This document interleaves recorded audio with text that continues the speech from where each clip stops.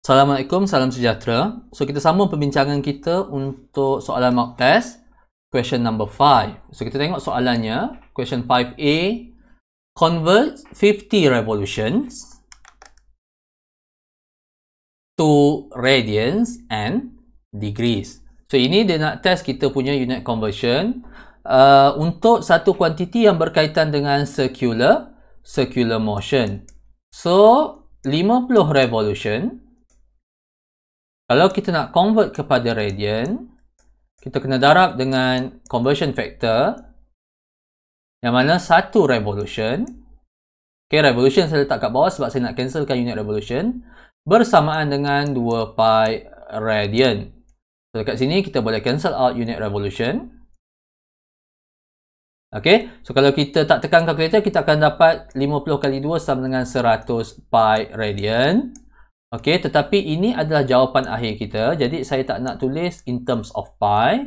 Instead, jawapan akhir kita sentiasa bagi dalam dua titik perpuluhan which is equals to 314.16 radian. Okey, so itu soalan 5A1. Untuk 5A2, kita buat benda yang sama juga. So 50 revolution. Ha, tapi kali ini conversion factor kita mestilah berkaitan dengan degree. Yang mana satu revolution saya letak dekat bawah sebab saya nak cancelkan unit revolution tu bersamaan dengan 360 degree. So, seperti biasa saya cancel unit revolution. Kita ada 50 kali 360. Kita akan dapat bahawa 50 revolution bersamaan dengan 18,000 degrees. Okey, so itu adalah jawapan bagi 5A2.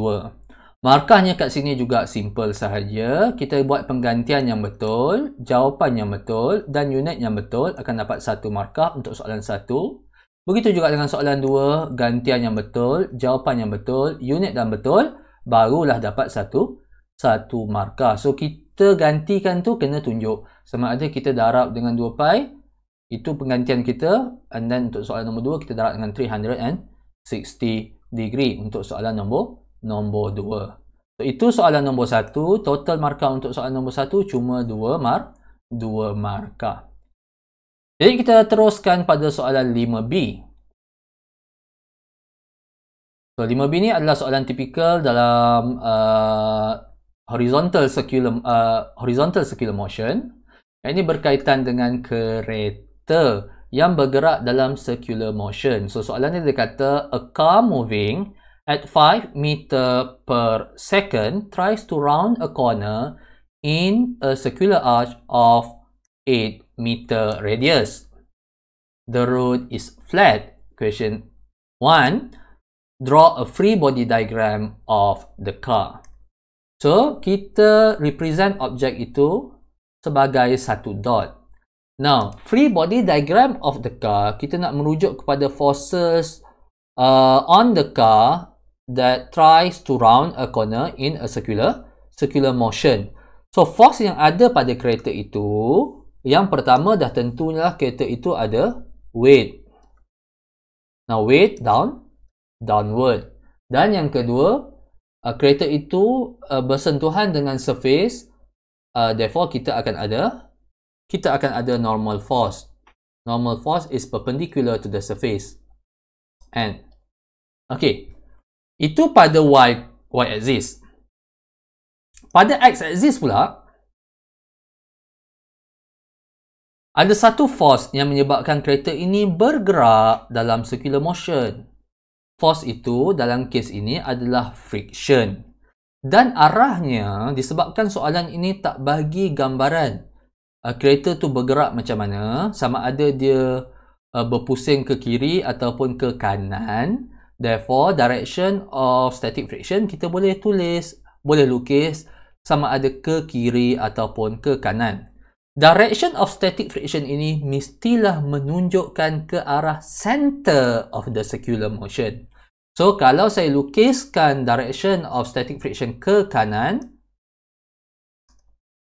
Maka saya kena bagi tahu juga bahawa direction of acceleration ataupun centripetal acceleration juga ke ke kanan. Yang ini towards the center of the circular motion. Sekiranya pelajar semua lukis ke kiri pun boleh. Tapi make sure para pelajar semua tahu bahawa the center of the circular motion juga ke ke kiri. Therefore, direction of centripetal acceleration juga ke kiri. So, itu adalah soalan satu.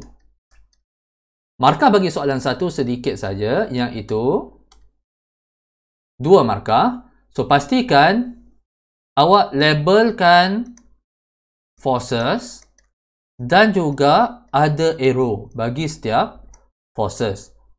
Centripetal acceleration sentiasalah lukiskan sama ada ada markah ke tak ada markah ke acceleration kita labelkan di luar daripada coordinate axis uh, sebab kita nak apply uh, equation centripetal force nanti. Okay, so tahu kita punya direction of centripetal acceleration. So mesti ada label and arrow dan yang yang betul. Therefore kita akan dapat dua markah. Sekiranya salah satu, akan dapat satu markah. Sekiranya ada dua force yang salah, sama ada label ataupun hilang arrow, terus akan dapat kosong markah. Okey, itu soalan satu. Soalan nombor dua.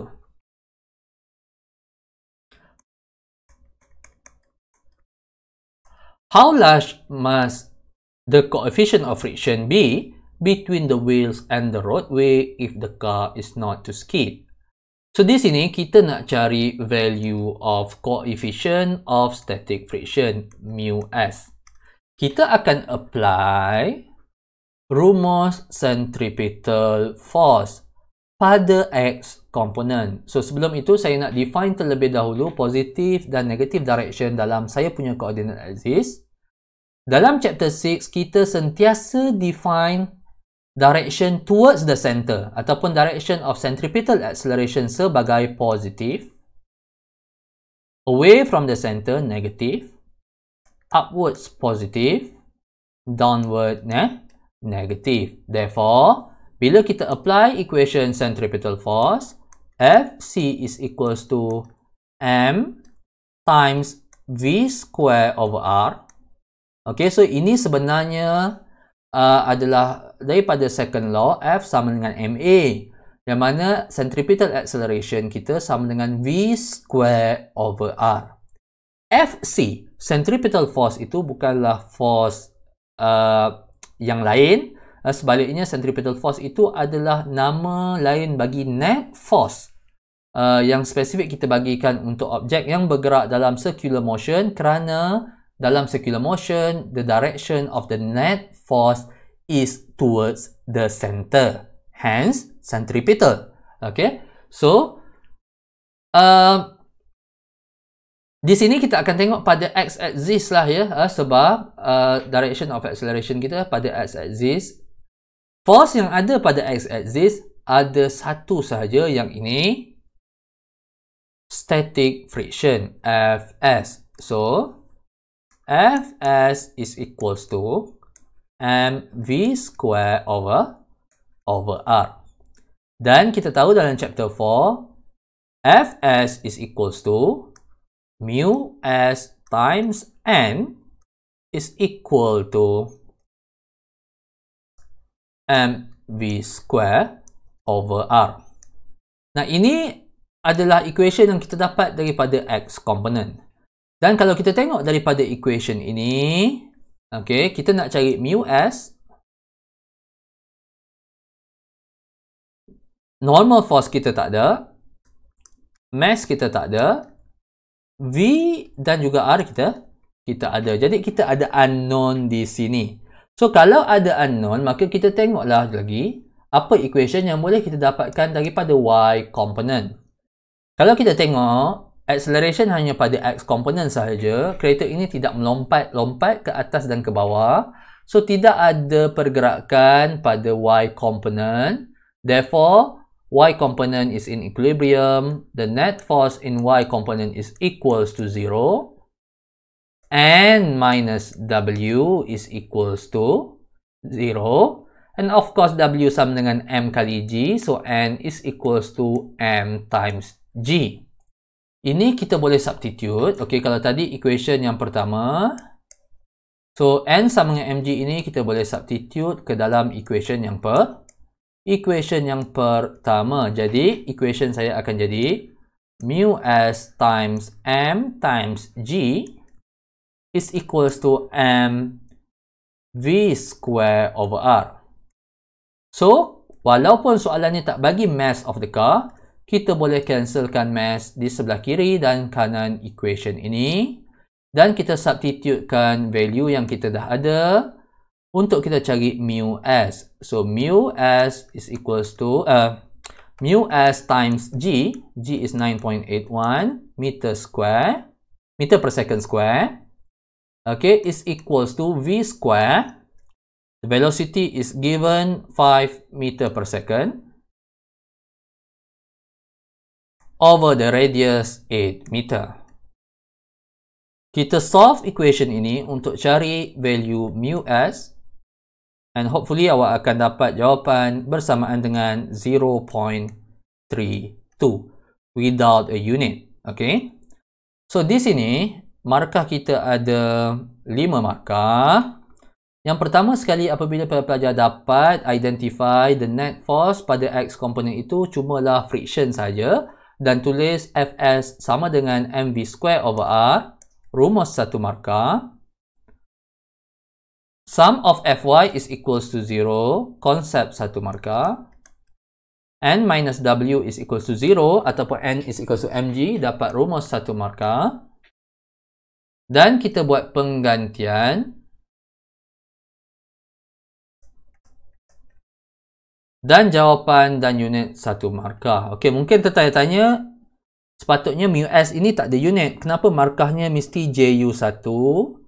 Ini nak menunjukkan kalau pelajar semua letak unit, maka awak akan uh, dapat kosong markah. Mesti MUS ini tidak ada unit, barulah dapat satu satu markah. Kalau terletak unit, maka kita takkan dapat JU1. Okey. So, itu adalah soalan 5B2. 5B2 dan juga 5B1. So, tadi 5B 1, 2 markah. 5B2 kita ada 5 markah. Therefore, total untuk soalan 5B adalah 7 markah. Untuk soalan nombor 5, jumlah markah bagi soalan nombor 5 adalah 9 markah. So, kira dan semak markah pelajar semua dan tuliskan pada kertas jawapan masing-masing. Itu saja. Sekian. Terima kasih.